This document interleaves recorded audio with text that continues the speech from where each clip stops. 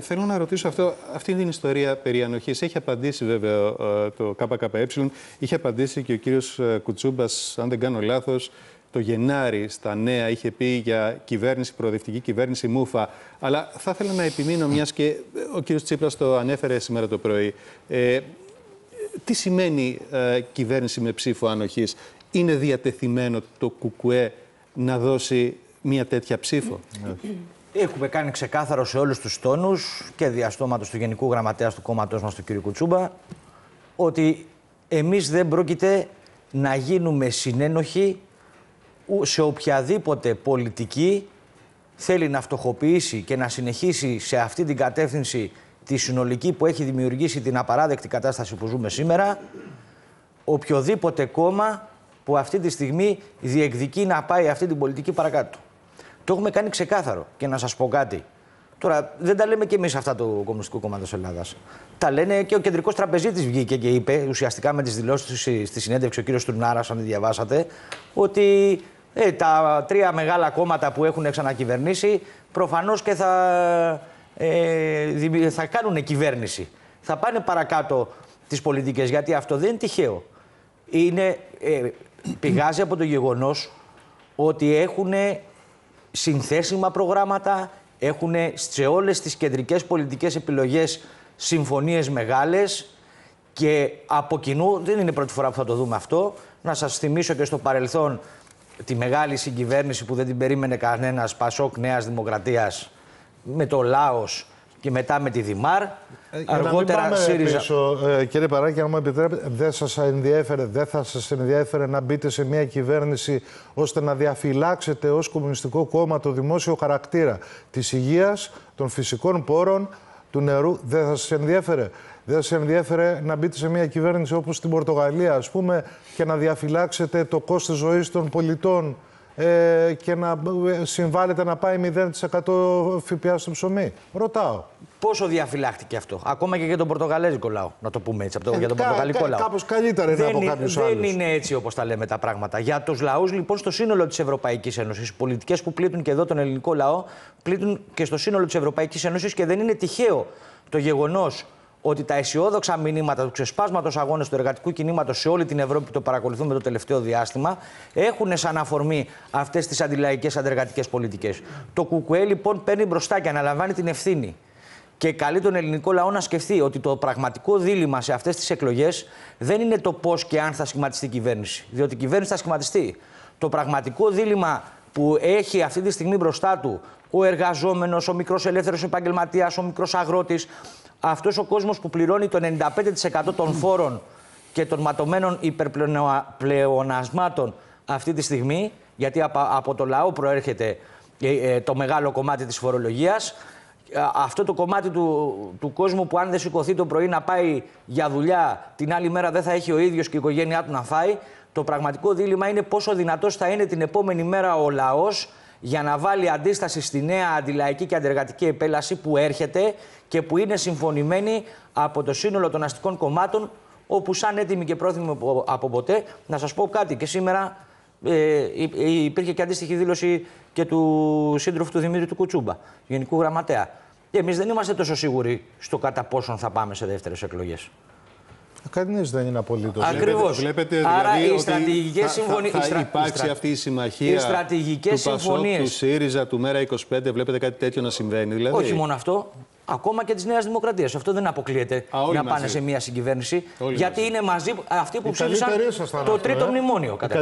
Είναι αυτοί μαζί που ψήφισαν το τρίτο μνημόνιο. Είναι αυτοί που ένα συνεχίζει την πολιτική του άλλου σε όλα αυτά που αναφέρατε πριν από λίγο. Ωραία. Στην πολιτική των ιδιωτικοποιήσεων, στα αντεργατικά μέτρα, στα χαράτσια, στη φορολιστία. Το ερώτημα έχει να κάνει με την οικονομία. Εσείς λέτε, το έχω δει πολλές φορές στο ριζοσπάστη, ότι την επομένων των εκλογών έρχεται υπερμνημόνιο.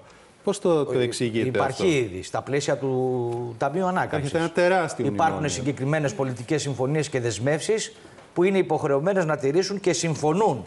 Δεν έχουν φέρει ούτε μία αντίρρηση, γι' αυτό ακριβώς δεν γίνεται και ο διάλογος επί της ουσίας της οικονομίας. Όλα τα κόμματα που διεκδικούν σήμερα σε αυτές τις συνθήκες να κάνουν κυβέρνηση. Που λένε τι; Καταρχήν, επί, επί του συγκεκριμένου πεδίου της οικονομίας που ακούστηκε εδώ, κάνει πρόταση νόμου το Κομμουνιστικό Κόμμα στη Βουλή με τους βουλευτές που διαθέτει σήμερα και ε, βάζει συγκεκριμένο ζήτημα για την κατάργηση των φόρων στα ίδια πλατεία λαϊκής κατανάλωσης. μια πρόταση νόμου που απορρίπτεται και από τη Νέα Δημοκρατία ως κυβέρνηση και από τα υπόλοιπα κόμματα. Φέρνει πρόταση νόμου το Κομμουνιστικό Κόμμα στη Βουλή που λέει για την προστασία της πρώτης κατοικίας, που είναι ένα πολύ μεγάλο θέμα και που θα το βρούμε μπροστά μας το επόμενο χρονικό διάστημα. Απορρίπτεται από το σύνολο των κομμάτων. Και μια σειρά τέτοιων προτάσεων νόμων. Ε, Ποιο είναι το βασικό; Όμως. Ορίστε. Κάναν δική τους και ο ΣΥΡΙΖΑ και νομίζω και το Πασόκ. Και η Νέα Δημοκρατία για, κατήργησε την προστασία πρώτης κατοικίας. Για την προσ... Εντάξει, τώρα για τους πληστηριασμούς. Ε, ακούστε, επειδή δεν θέλω να, να μπούμε στην ιστορία. Υπάρχουν σύντροφοί μου, αγωνιστές, πρόεδροι συνδικάτων κτλ. που έχουν βγει μπροστά για να προστατεύσουν σπίτια και που βρίσκονται αυτή τη στιγμή με τον νόμο που έχει ψηφίσει ο ΣΥΡΙΖΑ ως ιδιώνυμο αδίκημα το να μπεις μπροστά και να υπερασπιστείς το σπίτι του φτωχού λαού ε, και βρίσκονται στα δικαστήρια αυτή τη στιγμή και δικάζονται.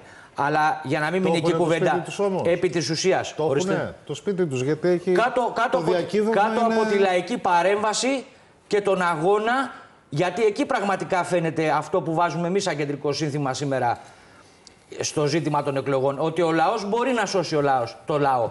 Και γι' αυτό πρέπει να δυναμώσει το ΚΚΕ και μέσα στη Βουλή και στους αγώνες. Και να σας πω το εξής. Το Κομμουνιστικό Κόμμα Ελλάδας είναι το μόνο κόμμα που έχει πραγματικά πρόγραμμα τέτοιο διακυβέρνησης, το οποίο αλλάζει εκ των βάθρων την πολιτική ναι, στο ζήτημα της οικονομίας. Αφού δεν συμμετέχετε με κανέναν άλλο, τώρα Προφανώς πρέπει να θελήσει ο λαός για να στηρίξει αυτές τις επιλογές. Και ξέρουμε πολύ καλά, βέβαια, ότι. Να κοιτάξτε να δείτε. Είπαμε για να κάνω ε, επενδύσεις κτλ. Το ερώτημα είναι το εξής. Στο ζήτημα, για παράδειγμα, της ενέργειας.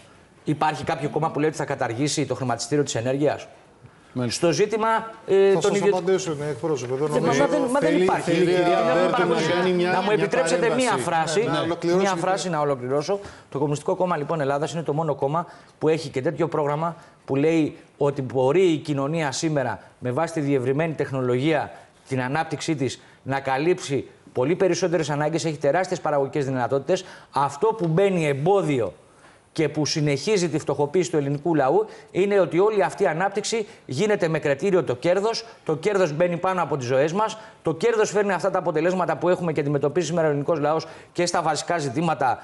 Γιατί έχουμε μπροστά μας και τη θερινή περίοδο και των πικαριών και στα ζητήματα της αντισυσμικής ε, ε, ε, προστασίας και στα ζητήματα των υποδομών που αναφέρθηκαν και προηγουμένως και που είχαμε και το, το τραγικό προδιαγεγραμμένο κατά τη γνώμη μας έγκλημα στα τέμπη και μια σειρά τέτοιων ζητημάτων που δεν αντιμετωπίζονται επιγραμματικά και σε ένα ζήτημα, αλλά συνολικά. Και να πούμε για την ΚΑΠ, να πούμε τι θέλουμε. Τι να πρωτοπώ τώρα, μα ρίξατε ε, ε, Να πούμε για την ΚΑΠ τώρα. Ε, ερχόμαστε εδώ και υπερασπιζόμαστε την ΚΑΠ που έχει ξυλώσει όλους τους φτωχούς και τους μικρομεσαίους αγρότες. Έκανε τους ανθρώπους, ερήμωσε την Ήπεθρο και τα χωριά, έβαλε τους ανθρώπους να ξυλώσουν τις τεράστιες παραγωγικές δυνατότητες που έχει η χώρα μας όταν επέλεξε αυτό το μοντέλο ανάπτυξης ναι, η Ευρωπαϊκή Ένωση για την Ελλάδα και να σπείρει φωτοβολταϊκά και μετά να κυνηγάνε τον κόσμο γιατί έσπηρε φωτοβολταϊκά αντί για σιτηρά να φάμε, ότι κλείσανε τα εργοστάσια ζάχαρης, ότι μια σειρά αυτά δεν, άρχισε, δεν ήταν φυσικά φαινόμενα. Δεν άρχισε να βρέχει κρίση, να το πούμε έτσι. Ήταν αποτέλεσμα συγκεκριμένων πολιτικών επιλογών που συνεχίζονται από όλα τα κόμματα σήμερα που εκβιάζουν τον ελληνικό λαό ναι. με το ζήτημα της σταθερότητας. Εμείς λοιπόν λέμε ξεκάθαρα, δυνατό κομμουνιστικό κόμμα για να είναι όσο το δυνατόν πιο ασταθής οποιαδήποτε κυβέρνηση, με οποιοδήποτε τρόπο και αν προκύψει, για να μπορεί ο λαός, παίρνοντας την υπόθεση στα χέρια του, να επιβάλλει τα δικά του αιτήματα και τις δικές του ανάγκες.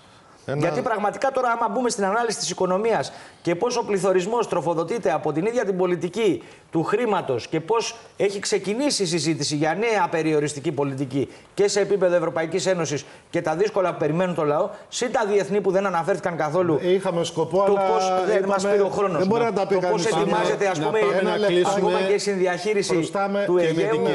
Πολλά στρώνονται μπροστά.